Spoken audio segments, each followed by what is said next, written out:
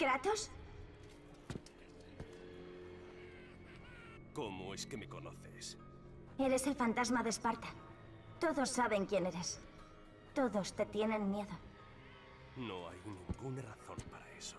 Yo no te tengo miedo. Me alegra mucho que no tengas miedo. El miedo es una carga pesada. Yo no soy una niña, Kratos. Me da exactamente igual lo que seas. Las preocupaciones que tengo son otras. Kratos, por favor. Tienes que liberarme.